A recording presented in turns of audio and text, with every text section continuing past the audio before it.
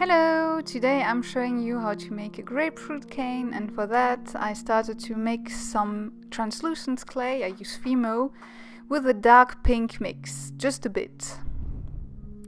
I then proceed to start forming a teardrop because I'm making the slice, I'm just starting with one slice of the grapefruit.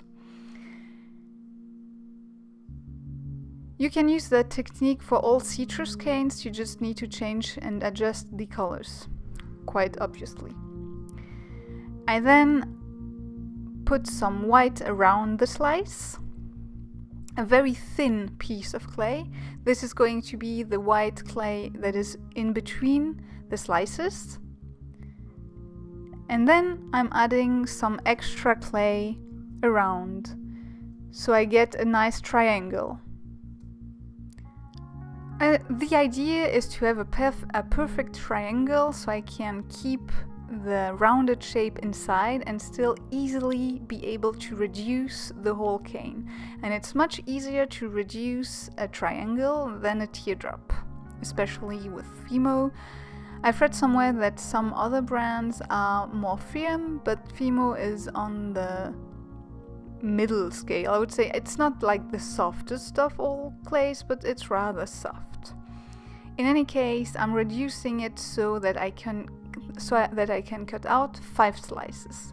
Here you cannot really see it, but I'm cutting out the ends, uh, which have been squished down and are not really usable. I'm cutting it in five and then I'm forming a half circle. I'm just pushing everything together and then reducing again so I can cut this in two to make a round. Just keep on reducing until it's long enough. And then again cut out the ends because you are not going to be able to use them I used to rule at this time, I don't always do, but I didn't want to mess up in front of the camera, really, that's the reason. And I used a toothpick to make an indent in the middle to add some of the white clay, because usually um, citrus fruit always have some more white in the middle, so that's just it. And then I add the zest with some extra white clay, and finally the zest with some yellow clay just be sure to cut it properly so there are no um, overlapping edges. And then proceed to reduce it.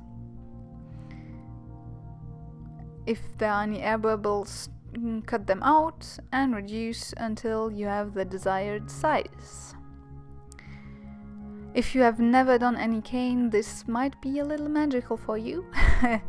And it's really um, something that is great with polymer clay and that is really proper to that medium and to glass. I mean, you can do you can do that kind of canes with glass. I also made a whole grapefruit. For that, I just use a round piece of clay, of yellow clay, and I sandwiched it between two sandpapers and I add some texture and then I added some green and again more texture and this is pastel, pink pastel that I'm brushing on top of it to give it that nice blush that grapefruit usually has. And I made a mold out of it. This is really um, optional, you don't have to do this, but it's um, how you can maintain a round shape for the half grapefruit. Now I'm making the inside of it, so I cut out a cylinder of the cane, I'm cutting it too, and putting it in the mold and using a needle tool, I'm adding bit by bit the texture of the grapefruit. Don't forget at the end to put a hole in the middle and just add a few bits and dots here and there. You don't have to make it in a mold, you can also make it directly on the tile, but if you do, it's going to flatten a bit uh, more um, the fruit slice. Not the fruit slice, but the fruit half. And I added some extra pastel.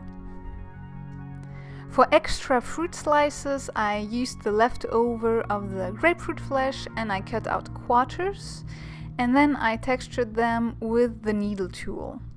You can also use a pin, a needle or a toothpick.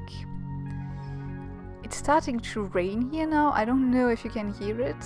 If you do, I really apologize. I cannot wait to make that voiceover, so mm, sorry.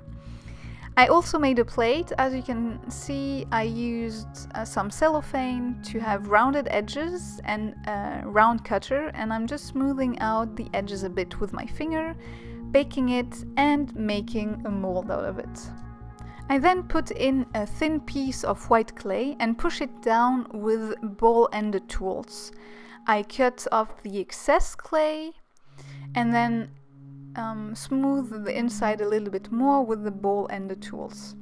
I then bake inside the mold and after baking I just sand so the plate gets smooth and clean and until I'm happy with it. And finally, I'm just adding all the fruit slices inside of the bowl. I added some liquid clay for it first, and then I'm adding bits by bits different fruit, fruit slices, sorry. As you can see I made orange, but as I said um, when working on the clay, it's the same technique. And here you go! I very very much hope you liked this video, even though the voiceover was maybe not so good. I, I did it six times I think, it's driving me insane. Anyway, I really hope you liked it. If you liked it, give it a thumbs up, maybe subscribe.